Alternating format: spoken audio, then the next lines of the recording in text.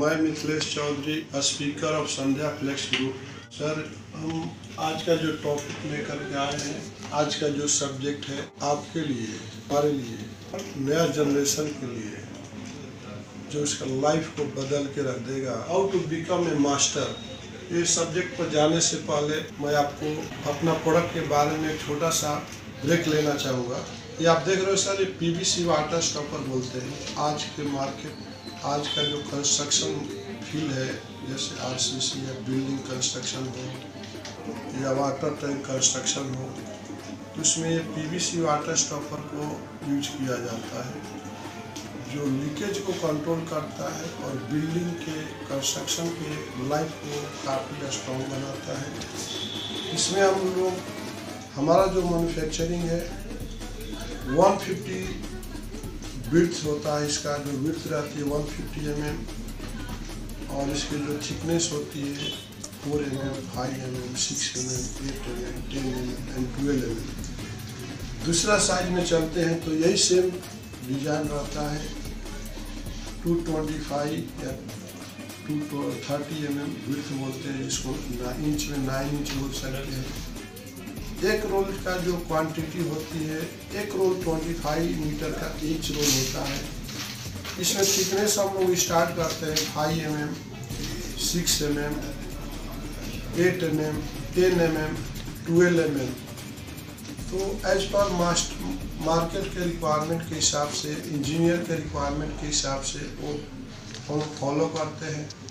और जो प्रोडक्ट का जो कंपाउंडिंग जो डिज़ाइन किया जाता है as per I S one five zero five eight के हिसाब से। और इसका जो डिज़ाइन किया गया है I S one double two double zero के हिसाब से। आई एस का मतलब होता है इंडियन स्टैंडर्ड जो ब्यूरो ऑफ़ इंडियन स्टैंडर्ड ने उसको सेटिस्फाई किया है। ये सारे प्रॉपर्टी और डिज़ाइन जो है एज पर स्पेक्ट के हिसाब से फॉलो करते हुए हम कस्टमर को फीडबैक देते हैं। थर्ड जो साइज़ आता है 300 हंड्रेड विर्थ रहता है, उसमें 6 M M eight M M ten M M twelve M M और 15 एम एम मैक्सिमम थिकनेस रहता है। अगर आपका कोई रिक्वायरमेंट हो तो हमें कांटेक्ट करना मत भूलिए। हमारा जो वेबसाइट है W W W Sandhya place dot com W W W Sandhya place rubber dot com. हमारा मेल आई डी है Sandhya rubber at the rate Gmail dot com. हमारा दूसरा मेल आई डी है Sandhya. Flex two zero two zero at the rate Gmail dot com हमारा contact number है nine six five two double nine eight nine three two और दूसरा हमारा contact number nine double five zero nine two one eight three one okay तो हम अभी चलते हैं अपने सब्जेक्ट पर। आज का जो सब्जेक्ट है how to become a master in your field अगर कोई भी आप काम करना चाहते हो या बिज़नेस करना चाहते हो, कोई भी फ़ील्ड में आपको अगर सक्सेस होना है तो उसका मास्टर उस फ़ील्ड का मास्टर बनना ज़रूरी होता है। Little knowledge is a very dangerous अधजल गगरी छलकत जाए और थोड़े धन में खल बोराए। जो, थोड़ा सा नॉलेज जो रहेगा, आपके लिए आपके फैमिली के लिए बहुत डेंजर होगा। इसलिए जब तक कोई भी सब्जेक्ट में जाने से पहले, कोई भी फ़ील्ड में जाने से पहले उसका आपको मास्टर माइंड होना ज़रूरी होता है। जैसे एक घड़ा होता है, उसमें आधा घड़ा पानी रहता है तो बार बार छलकते रहता बताता कि मैं पानी से बहुत भरा हूँ। वही भरा हुआ घड़ा पूरा लभालब तो उसमें आवाज़ भी नहीं आती है। इसलिए जब तक आपको पूरी जानकारी ना हो, जिस फ़ील्ड में आप काम करना जानते हो, अगर मार्केटिंग में जानते हो तो मार्केटिंग का आपको बहुत एक्सपीरियंस होना चाहिए।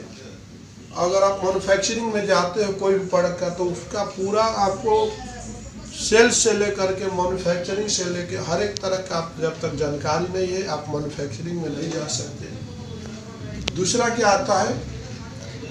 नेक्स्ट है फ़र्स्ट जो आता है इसको स्टॉप करने के लिए follow the mentors path follow the mentors path आप अपने साथ में काम किए हुए लोगों को फॉलो करिए। आखिर वो यहाँ तक कैसे पहुँचा? उसे आपको फॉलो कर करके आपसे उसका एक्सपीरियंस को आपको लेना चाहिए सीखना चाहिए। जब से आप छोटा बच्चा स्कूल में जाता है तो टीचर क्या बोलता है? कैसे पढ़ाता है, क्या बॉडी लैंग्वेज है, कैसे रहना चाहिए, कैसे नीटनेस मेंटेन करना, कैसे डिसिप्लिन मेंटेन करना, वो टीचर समझाता है तो फॉलो बच्चा जो करता है, वो ग्रेट मतलब स्टूडेंट बनता है आगे चल करके। उसी तरह से हम अगर कोई बिज़नेस करना चाहते हैं तो जो पहले से बिज़नेस कर रहा है, उसके साथ कुछ दिन आपको स्पेंड करना के पड़ेगा at least one and half years तक उसको फॉलो करते हुए कैसे, क्या मंगा रहे क्या कर रहा वो पूरा नॉलेज होने के बाद ही आप जो है मास्टर माइंड बन सकते हो तभी वो काम करना शुरू करना चाहिए। नेक्स्ट आता है topic Learn variety of skills except the one you are doing mastery. Second topic है कि learn variety of the skill except the one upon the doing mastery अगर आपको बिज़नेस में बिज़नेस करना है तो खाली एक स्किल पर नहीं काम करने जैसे आप खाली मैन्युफैक्चरिंग कर रहे हो। आपके पास परचेज नहीं है नॉलेज तो आप मैन्युफैक्चरिंग नहीं कर सकते उस स्किल पर भी काम करना होगा। अगर आप सेल्स जानते हो तो परचेज का भी नॉलेज होना चाहिए। अगर आप बिज़नेस करते हो तो अकाउंट्स का भी नॉलेज होना चाहिए। अगर आपका पास मैन्युफैक्चरिंग यूनिट है तो एक एक मशीनरी का भी आपको नॉलेज होना चाहिए। तो नंबर ऑफ़ स्किल आपको काफ़ी बिल्डअप करना होगा।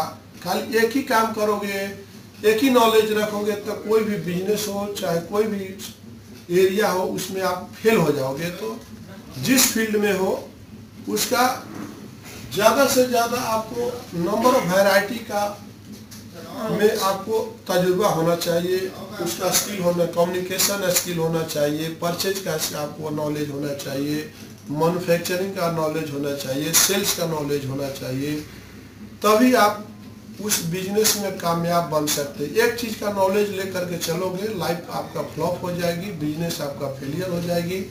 इसलिए आज का जो सब्जेक्ट है how to become the master in the your field next जो आता है ten thousand hour rule to become a master you need to spend at least ten hour in a field आपने देखा कि थर्ड पॉइंट है बहुत जोरदार point है।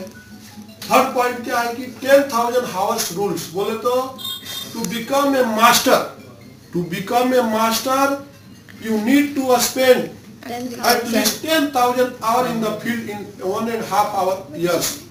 10,000 hours बोले तो एक one and half years में 10,000 hours होता है।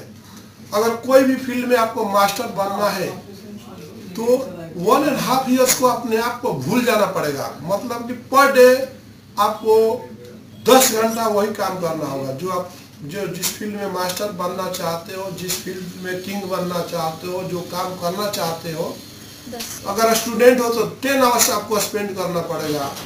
अगर आप ऑपरेटर हो तो दस घंटा आपको उस काम करना होगा। अगर आप मार्क ऑफ़िस में हो तो टेन आवर्स काम आपको करना पड़ेगा। एक वन एंड हाफ़ ईयर्स का आपको अपने आप को भूल जाना पड़ेगा। इतना मेहनत करना पड़ेगा। तभी आप उसका मास्टर बन सकते हो। जब तक आप मास्टर नहीं बन सकते हो तो कोई भी आपको सफलता नहीं मिलेगी। कोई भी ऑर्गेनाइजेशन आपको नौकरी पर नहीं रखेगा, कहीं भी आपका लाइफ सेटल नहीं होगा। तो अगर नौकरी का मतलब होता है, नौ में नौ नौ काम में हाँ बोलना पड़ता है, दसवें में भी हाँ बोलना पड़ता है। तो कोई भी काम है उसमें आपको टाइम देना होता है। अगर टाइम आप नहीं दे सकते तो अपने घरों में बैठ जाओ। किसी भी ऑर्गेनाइजेशन के, किसी ऑर्गेनाइजेशन के साथ आप खेल मत खेलो। कोई भी बिज़नेस करते हो, जैसे आप किराना का दुकान लगाते हो तो दस घंटा तो किराना की दुकान पर बैठना होगा। कोई भी बिज़नेस करते हो तो ten hours at least daily आपको टाइम स्पेंड करना पड़ेगा। आप सोचोगे कि हम टाइम भी नहीं देंगे, हमारा बिज़नेस भी रन हो जाएगा तो फैक्ट्री भी अगर लगाते हो तो आपको नाइन नौ बजे से पहले आपको कंपनी में जाकर देखना पड़ेगा। नौ बजे जब कंपनी बंद होती तो फिर आपको विज़िट करना होगा। आप जब तक खुद को अलर्ट नहीं करोगे, जो ज़्यादा टाइम नहीं दोगे तो आप बिज़नेस का किंग नहीं बन सकते हो। आप लाइफ में लाइफ में सक्सेस नहीं हो सकते हो।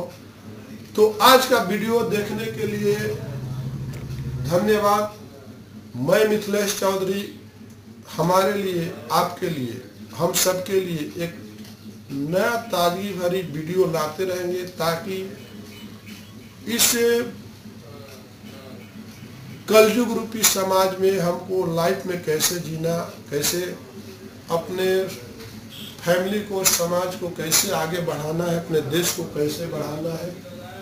तो अगर ये वीडियो आपको पसंद है तो इसको लाइक कीजिए सब्सक्राइब कीजिए और अपने फ्रेंड सर्कल में फैलाइए। धन्यवाद।